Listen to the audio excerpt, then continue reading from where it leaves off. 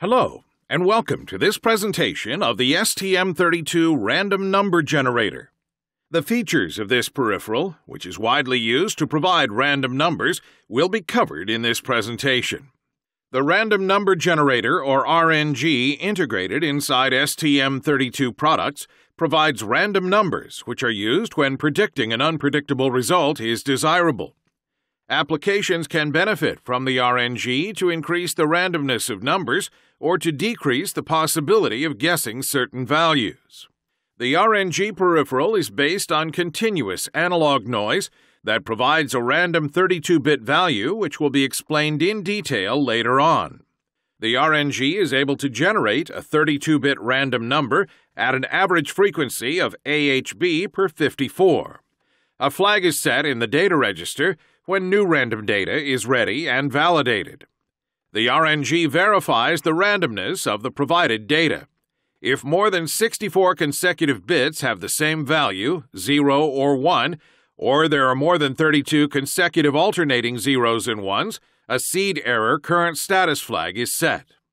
When a PLL48 RNG clock source is used, a clock error current status flag is set if the PLL48 clock frequency is less than HCLK divided by 32. An interrupt source can also be enabled to indicate an abnormal seed sequence or frequency error. This simplified block diagram of the RNG shows its basic functional and control modules. The random number generator is based on an analog circuit made of several ring oscillators whose outputs are XOR'd to generate the seeds that feed a linear feedback shift register in order to produce 32 bit random numbers. The linear feedback shift register is clocked by a dedicated RNG clock signal so that the quality of the random number is independent of the HCLK frequency.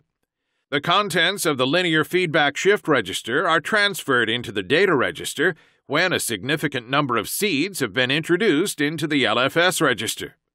In parallel, an error management block verifies the correct seed behavior and the frequency of the RNG source clock if a PLL48 source is used.